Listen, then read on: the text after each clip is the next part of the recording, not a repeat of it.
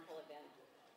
I'm here to introduce Muriel Mickey Siebert, who is known as Wall Street's first woman of finance. She is the founder and CEO of the brokerage firm that bears her name, Muriel Siebert and Company Incorporated, the first woman to own a seat on the New York Stock Exchange, and the first to head one of its member firms. Throughout her career, Mickey has been actively involved with a wide range of nonprofit, civic, and women's organizations. She is a member of the Council on Foreign Relations, the Economic Club of New York, the Committee of 200, the International Women's Forum, and the New York Women's Forum, of which she was a founder and former president. In 1999, she developed a personal finance program that was introduced into the economic curriculum of New York City's public high schools and is now in pilot programs in various school districts across the nation. Mickey is described by the Encyclopedia Britannica as, American business executive whose successful ventures in the realm of high finance helped expand opportunities for women in that field. She is listed as one of 1,000 great American business leaders by Harvard University Business School. A widely respected commentator on financial services and the economy, Mickey's opinion has often been sought out by the media, Congress, and the White House.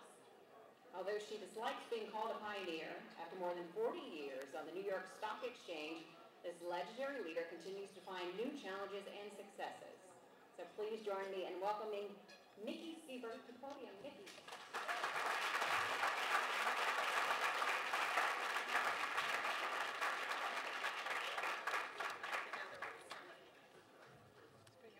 Oh, that's We'll beautiful. put this on the table. Great. Do you need it? Do you want to do the shot? Look at this face. Beautiful. I thought you meant me. Well, open your mouth and I'll call you a vase. Well, this was worth coming to Los Angeles to get this kind of an introduction.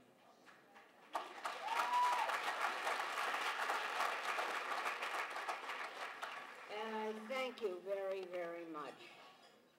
And I appreciate your very gracious introduction.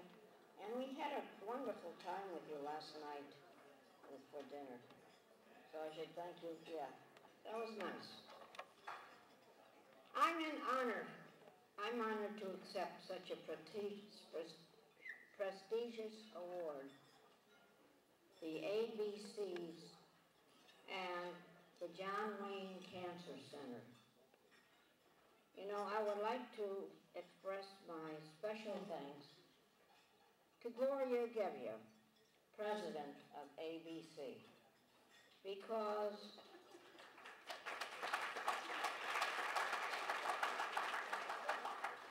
an event like this, believe me, does not happen by accident. It happens with love and hard work and dedication. And to be able to honor the vital work that the doctors Morton and Giuliano and their teams do every day. You know, they make a difference in people's lives every day. And I wish that they were here to get the same honor because that is the one thing that we all need help when we're at a very desperate time like that. You know, their efforts and their need to achieve without cancer and to kill cancer are truly inspiring. And we all need them to. I'm on another uh, cancer foundation in New York, and I know how hard people are working to beat the disease. I'm on the advisory committee of Evelyn Lauder's breast cancer research, and I've seen the way these doctors just plug away to try to find the cure. And it will happen. And we just have to be so pleased and so in awe of these people who dedicate their life doing this. you know, whether or not, wherever you go, whether it's family or a neighbor, cancer is touching a little bit of everyone in the community. And it touches them at all levels. Because no one has a family member who does not have it, or a good friend who has, does not have it or have not gotten through it. And I have been told by the people in New York that there will be a cure. They feel they're getting closer and closer to it. And so you must be feeling the same way out here. And won't it be good when the two coasts can meet and celebrate together that we found the cure? Uh, I had a dream when I showed up